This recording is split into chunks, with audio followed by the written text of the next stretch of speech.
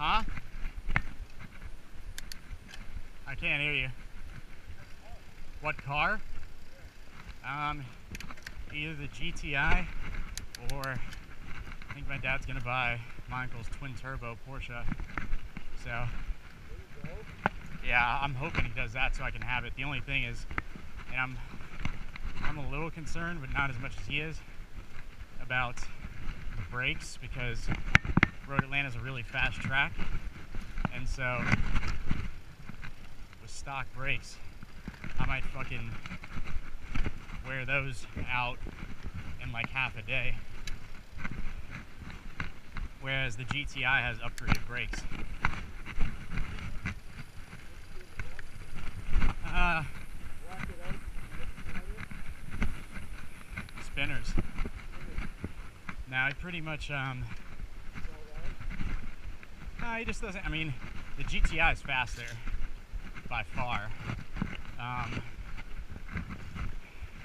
it's pretty much he doesn't want anything to happen to it because if the engine blows up it's like 15,000 bucks for a fucking remanufacture engine.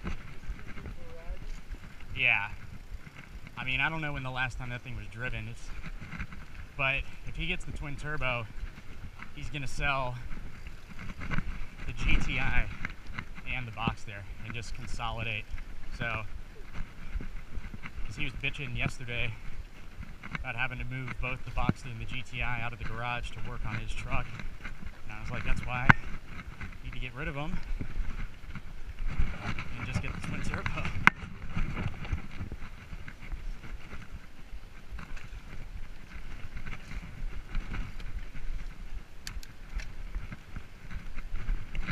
Go. You in the turns, of course.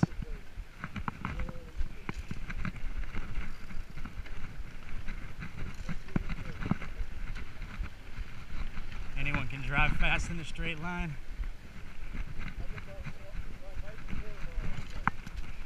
For those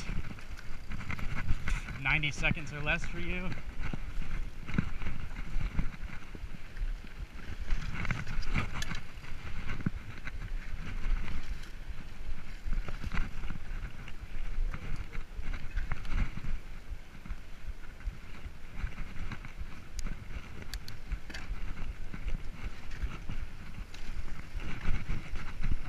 That's the uh, the elusive carpet sand. Only occurs in a few parts of the world.